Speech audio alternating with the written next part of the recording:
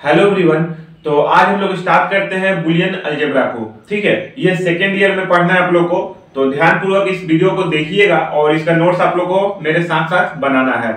जहाँ पे भी आपको दिक्कत हो डायरेक्ट आप मेरे इंस्टाग्राम पे जाके कमेंट कर सकते हैं मैसेज कर सकते हैं, किसी प्रकार से आप क्वेश्चन पूछ सकते हैं। और टेलीग्राम से नहीं जुड़े तो अभी तुरंत जाके जुड़ जाइए। और इसका बुलियन अलजेब्रा का मैं एक प्लेलिस्ट बना दूँगा।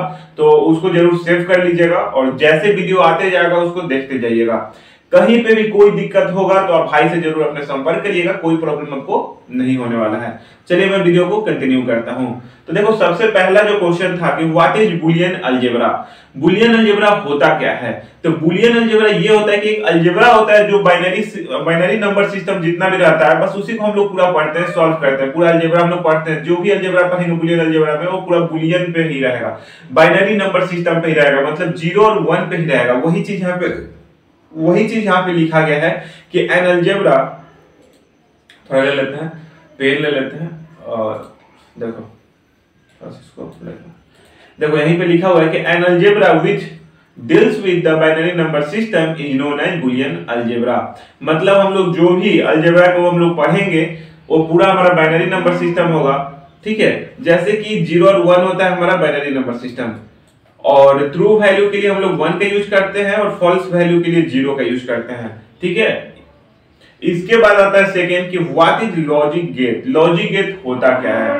और फुल एक्सप्लेनेशन भी आपको बताने वाले हैं। तो logic gate is a electronic circuit which can take one or more input but output will be one क्या होता है? लॉजिक गेट एक इलेक्ट्रॉनिक सर्किट होता है, जिसमें एक अगर एक या एक से अधिक इनपुट हम लोग अगर देते हैं तो आउटपुट हमेशा हमें एक ही मिलता है।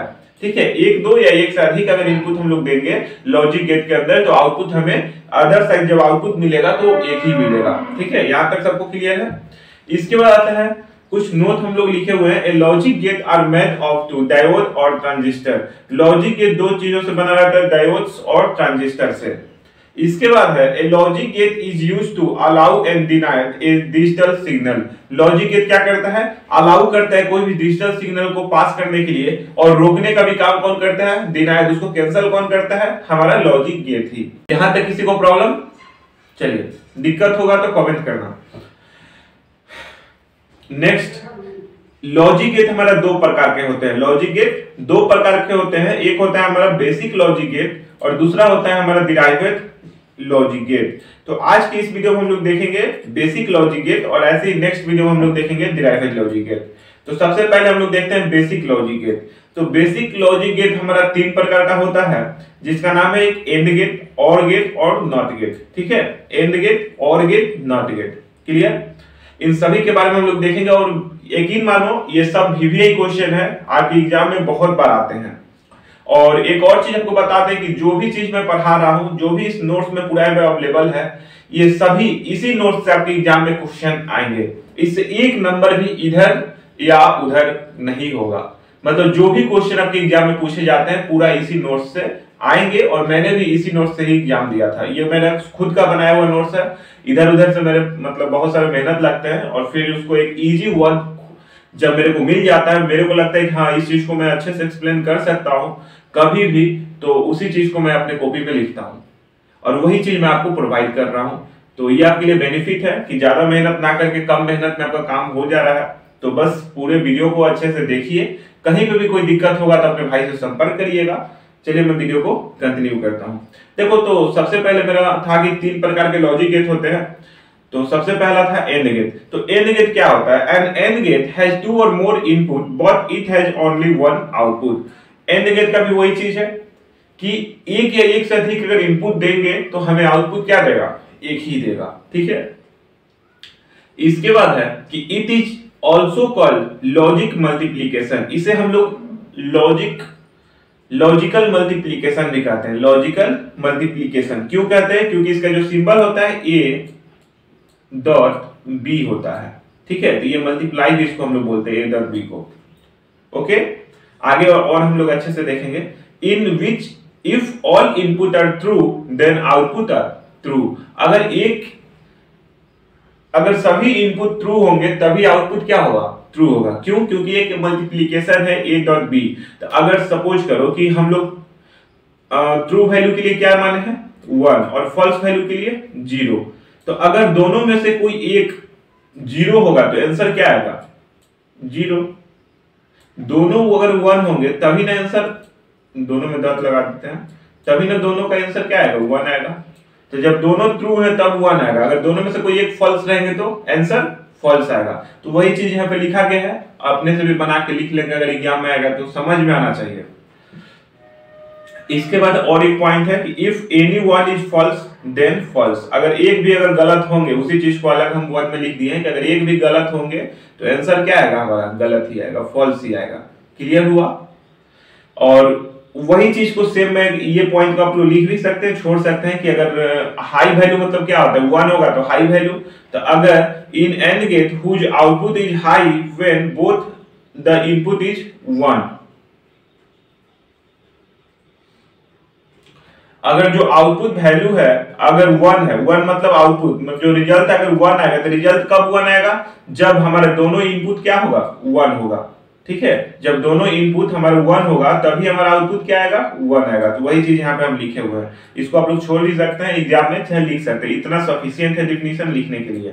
इतना लिखने के बाद एक सिंबल लिख दीजिएगा कि सिंबल क्या होता है? ए ए डॉट बी से हम लोग इसको लिखते हैं और इसका सिंबल हो जाएगा डॉट डॉट सिंबल से हम लोग पहचान लेते हैं कि ये एंड गेट है। ठीक है? इसके बाद आता है सर्किट डायग्राम सर्किट डायग्राम बहुत इंपॉर्टेंट चीज़ है। ये एग्ज़ाम में बहुत बार क्वेश्चन डायरेक्ट बनाने के लिए भी देते हैं।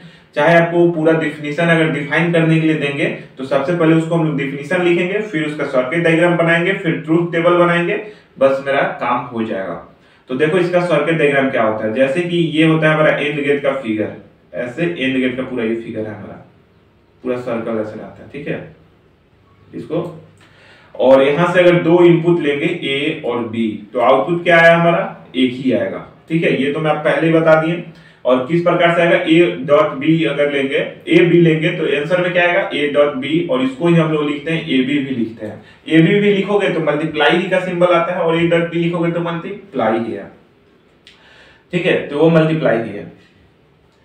इसके बाद इसका ट्रूथ टेबल देखो।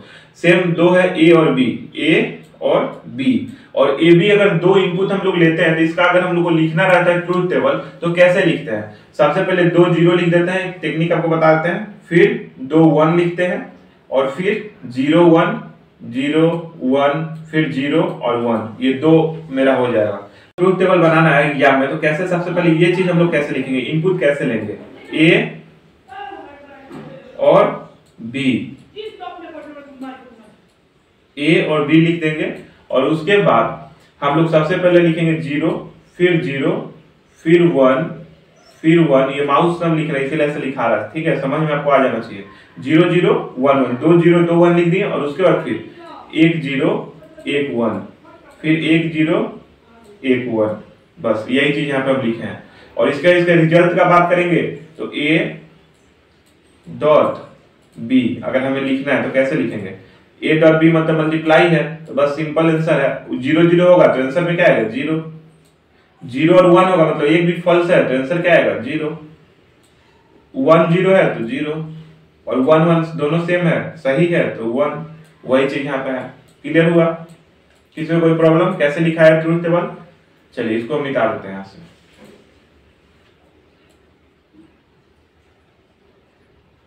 फास्ट इसको। मिटाते हैं, फिर हम लोग इसी चीज़ को थ्री वेरिएबल में देखेंगे। लेकिन बनाने के लिए भी बहुत कम आता है ग्रेजुएशन में। आपको डायरेक्ट डिफिनीशन पूछेगा और बोलेगा कि इसको डिफाइन करिए। एक साथ दो तीन पूछ देगा कि और गेट क्या होता है एंड गेट क्या होता है, इसको बताइए। अब देखो, तीन वेरिएबल का। तीन वेरिएबल भी सेम वही चीज़ होता है, जैसे तीन वेरिएबल है एक्स है वाई है और जेड है। तीनों वेरिएबल कोई भी दो से दो हो या दो से अधिक अगर इनपुट होगा तो आउटपुट हमेशा मेरा एक ही आएगा। तो एक ही आउटपुट आया है A X dot Y dot Z ठीक है? और इसका अगर ट्रूथ टेबल का हम लोग बात करेंगे तो इसको देखो कैसे लिखते हैं। तीन वेरिएबल का है तो सबसे पहले लिखेंगे, चार चार क्या लिखेंगे? Zero zero. जैसे ये सेम ये चीज़ कहाँ से हम लिख रहे हैं? बाइनरी नंबर सिस्टम आप पढ़े होंगे। तो बाइनरी नंबर सिस्टम में जब हम लोग ये बनाते थे हेक्सा टेबल बनाते थे ऑक्टा टेबल बनाते थे, आप लोग पढ़े होंगे कि नहीं? नहीं पढ़े होंगे तो एक वीडियो आपको देते हैं, वो देख लीजिएगा। ये जो आपको स्क्रीन पे दिख रहा है, इस वीडियो को देखिएगा तो ये आपको बनाने आ जाएगा। जैसे हम हेक्सा टेबल बनाते थे तो उसके लिए भी हम लोग एक इनपुट लेते थे ना पहले, दो वेरिएबल का, फिर तीन वेरिएबल का। हेक्सा टेबल बनाने के लिए तीन वेरिएबल का इनपुट लेते थे तो कैसे लेते थे? सेम वही यहाँ पे लेते हैं। जैसे तीन वेरिएबल का हमें इनपुट लेना है सबसे पहले तो x, देखो यहाँ पे नीचे, x, y और z, तीन हो गया। अब इसका इनपुट लेना है। तो तीन वेरिएबल का इनपुट लेना है मतलब क्या हो जाएगा? थ्री का पावर नहीं, एक मिनट टू का पावर थ्री होता है। इसका फॉर्मूला होता है कि जितना वेरिएबल रहेगा उसको टू का पावर में लगा देते हैं। तो तीन वेरिएबल का लेना है तो टू का पावर थ्री हो जाएगा। तो टू का पावर थ्री तो ये आंसर कितना आएगा? एट क्या आएगा? एट मतलब एट होना चाहिए। देखो ये एट है ना, चार और चार, आठ है।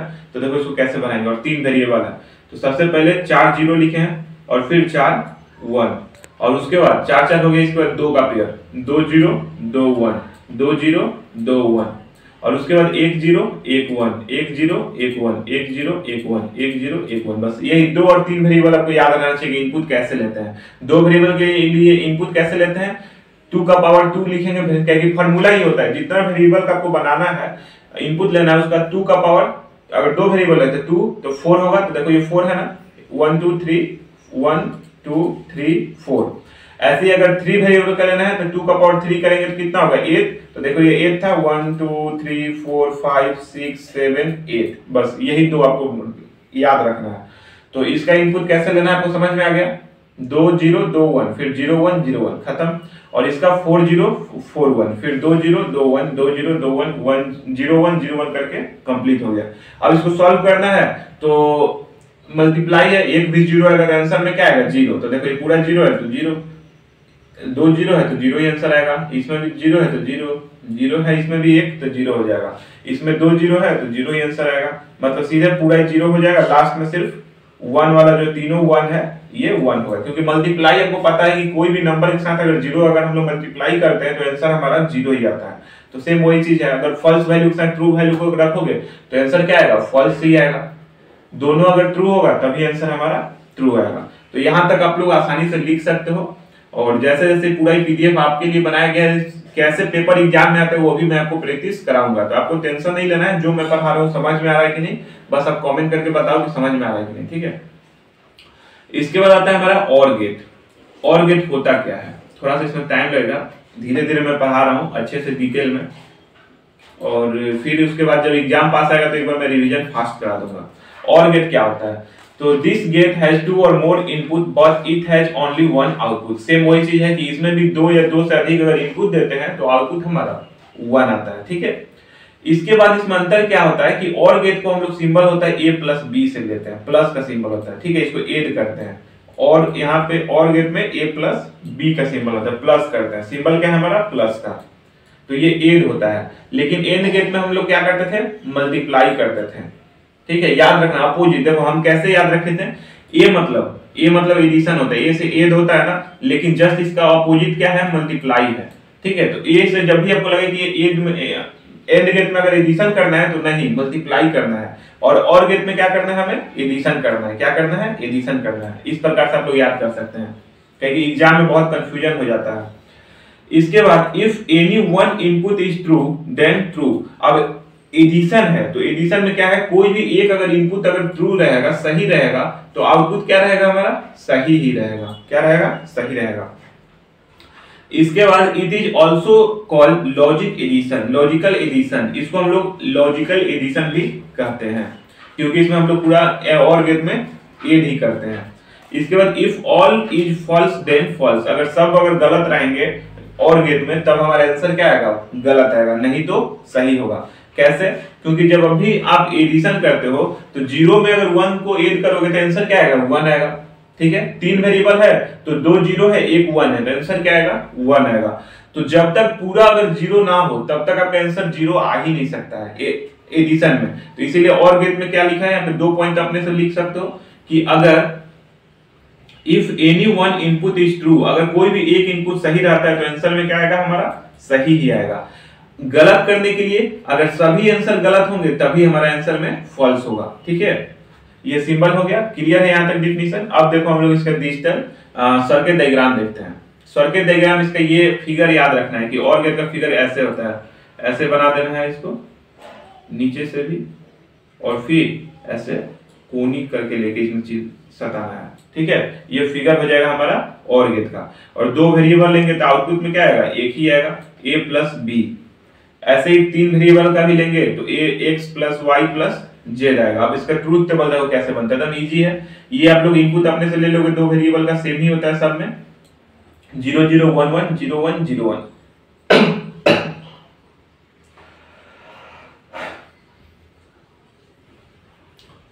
ठीक है? Zero zero one one zero one zero one input ले लिए। अब इसका आउटपुट देखो क्या आएगा। जब दोनों अगर फॉल्स होंगे तो आंसर में क्या आएगा? फॉल्स दोनों में से कोई एक सही है तो वन दोनों में से कोई एक सही है वन है तो वन ये दोनों सही है तो वन ही होगा। क्योंकि one one one one zero one zero one one और ज़ीरो ज़ीरो ज़ीरो एडिशन है तो हो गया। ऐसे ही तीन वेरिएबल में, ये दोनों गलत, तीनों गलत है तो ज़ीरो और बाकी किसी में भी सब में वन कहीं ना कहीं है तो इसीलिए सब का आंसर क्या आ जाएगा? वन सिंपल एड करना है। क्लियर हो गया यहाँ तक? जो लोग बाइनरी नंबर सिस्टम अच्छे से पढ़े होंगे सॉरी जो लोग नंबर सिस्टम अच्छे से मेरा वीडियो देखे होंगे, पढ़े होंगे, उनको इसमें कोई भी दिक्कत नहीं होने वाला है। तो नंबर सिस्टम सबसे पहले अगर नहीं देखे हैं तो जाके एक बार देख लीजिए फिर से। नंबर सिस्टम का अगर अच्छे से आपको एडिशन सब्ट्रैक्शन करने आता है, इसके बाद हेक्सा टेबल बनाने आता है ऑक्टा टेबल बनाने आता है तो इसमें आपको ज़्यादा दिक्कत नहीं हो रहा है। अगर नहीं हो रहा है तो कोई बात ही नहीं है फिर। अगर हो रहा है तो ज़रूर उसको देख के आ जाइए। इसके बाद लास्ट हमारा टाइप बचा हुआ है नॉट गेट क्या बचा हुआ है? नॉट गेट नाम से क्लियर है नॉट मतलब नहीं, गलत है नॉट गेट होता है। तो इसको कैसे सॉल्व करते हैं? Not gate it is called logical complement logical complement इसको बोलते हैं। कॉम्प्लीमेंट मतलब क्या होता है? जैसे जस्ट उसका अपोजिट हम लोग कर देते हैं। उसको कॉम्प्लीमेंट का सिंबल लगाते हैं। जैसे ये हमारा कॉम्प्लीमेंट का सिंबल है। ए और ए के अगर बगल में अगर ऊपर अगर ऐसे दे देंगे तो ये हमारा कॉम्प्लीमेंट का सिंबल सिंबल है। चाहे ए और बगल में एक डॉट दे देंगे ऊपर तो ये हमारा डॉट नहीं, ऐसे लाइन तो ये कॉम्प्लीमेंट का सिंबल है। इसको हम लोग ए कॉम्प्लीमेंट बोलते हैं, ठीक है, दोनों को। तो देखो, ये क्या करता है हमारा कि it convert true to false and false to true simple ये कन्वर्ट उल्टा कर देता है। जैसे जो वैल्यू हमारा सही होगा, उसको गलत में बदल देता है। जो गलत होगा, उसको सही में बदल देता है। कौन? नॉट गेट ठीक है? It is also called inverter इसको हम लोग इन्वर्टर भी कहते हैं। इन्वर्टर क्या करता है? कन्वर्ट करता है। तो उसी प्रकार से नॉर्थ गेट भी क्या करता है? कन्वर्ट करता है ट्रू वैल्यू को फॉल्स वैल्यू में और फॉल्स वैल्यू को ट्रू वैल्यू में। ठीक है? तो इसको हम लोग इन्वर्टर भी कहते हैं। It convert high input one to low zero vice versa मतलब देखो, अगर वन होगा इनपुट अगर वन होगा मतलब ये तो हाई है। तो इसको कन्वर्ट कर देगा ज़ीरो में। कैल वन से ज़ीरो पे गिरा देगा। अगर ज़ीरो होगा तो इसको कन्वर्ट कर देगा वन में। बस इसका यही काम है सिंपल है। It has only one input and one output और इसमें क्या होता है, बाकी सब जैसे दो अगर आप लोग पढ़े हैं गेट पढ़े हैं एंड गेट और गेट तो उसमें दो इनपुट आता था, चाहे दो से अधिक इनपुट आता था तो आउटपुट हमारा क्या होता था वन लेकिन इसमें अगर हम लोग बात करें नोट गेट में तो इसमें अगर हमारा एक इनपुट होगा तो आउटपुट भी क्या होगा वन सिर्फ़ एक ही इनपुट होता है और आउटपुट भी एक ही होता है। ठीक है? ये भी लाइन आप लोग देखो सिंपल है। The output is of gate this gate is opposite of input just इसका जो भी आउटपुट होता है, उसका अपोजिट में हमारा इनपुट होता है। जैसे यहाँ पे ए लिए। तो ए आएगा और इसका फिगर ऐसे होता है। एक ट्रेंगल बना देंगे ऐसे और ऊपर उसके सबसे ऊपर क्या करेंगे? एक सर्कल बना देंगे छोटू सा। ठीक है? तो ये हमारा फिगर होता है और जस्ट इसके में से जो आउटपुट निकलेगा कॉम्प्लीमेंट निकलेगा। ए कॉम्प्लीमेंट ये सिंबल याद रखना। और इसका ट्रूथ टेबल सिंपल होता है। ए और एक ही वेरिएबल है तो दो ही होगा ज़ीरो और वन ठीक है? और इसका ज़ीरो का अपोजिट करेंगे तो वन आएगा आंसर और वन का अपोजिट करेंगे तो ज़ीरो आएगा। सिंपल होता है। ठीक है? अब इस, इतना तीन हम लोग पढ़ लिए एंड गेट और गेट और नॉट गेट ठीक है? नोट गेट अब इस पे हम लोग सर्किट डायग्राम देखो, यहाँ पे हम कुछ प्रैक्टिस किए हैं, और आपको सोच रहे करा देते हैं तो इससे एग्ज़ाम में इस प्रकार से क्वेश्चन आते भी हैं। यहाँ पे हम यहाँ पे ब्रीफली एक लिख लिए हैं। इसको देखिए यहाँ पे ब्रीफली लिखे हुए हैं आपको समरी टाइप का यहाँ पे लिखे हुए हैं, इसको समझिए। एंड गेट का सर्किट डायग्राम कैसे होता है? इस प्रकार से होता है फिगर और गेट का ऐसे होता है नोट गेट का ऐसे होता है। और इसको हम लोग मल्टीप्लाई के लिए यूज़ करते हैं एंड गेट को। और गेट को एड के लिए यूज़ करते हैं और नोट गेट को कॉम्प्लीमेंट के लिए यूज़ करते हैं जस्ट अपोजिट के लिए। अब एक ऐसा क्वेश्चन आपको आ जाए बोले कि इसका सर्किट डायग्राम बनाए।